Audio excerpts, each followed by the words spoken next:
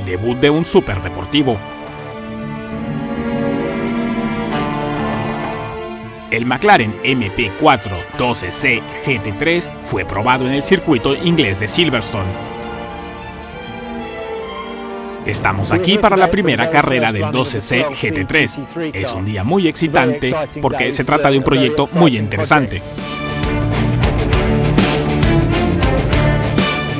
Es el primer auto de carreras que sale de nuestra división de autos urbanos desde el F1 GTR allá por 1990.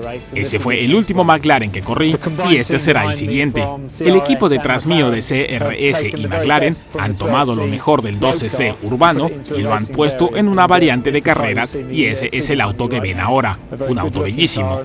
Y como se dice, si un auto va tan bien como se ve, podemos decir que este se ve muy rápido rápido, rasante, espectacular, dinámico, único. La lista de adjetivos con la que se podría describir el aspecto de este superdeportivo puede ser muy muy larga. Han pasado 15 años desde que el McLaren F1 GTR ganó en su debut las mundialmente famosas 24 horas de Le Mans. A partir del 2012, el MP4 12C GT3 deberá retomar esa vieja costumbre en la serie GT.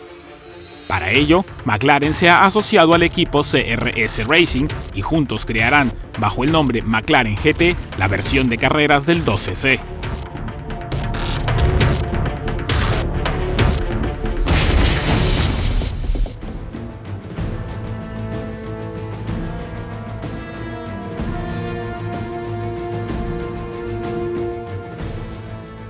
Este superdeportivo ofrece unas características revolucionarias, su chasis de una sola pieza de fibra de carbono, su excelente nivel de agarre en las curvas y su formidable capacidad aerodinámica lo convierten en la perfecta plataforma.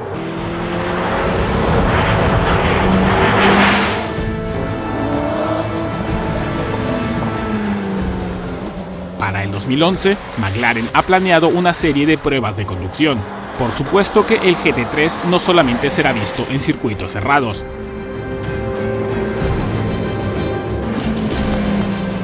Este deportivo de altas prestaciones se venderá a un grupo muy selecto de clientes europeos. La lista para reservarlo seguramente será también muy larga.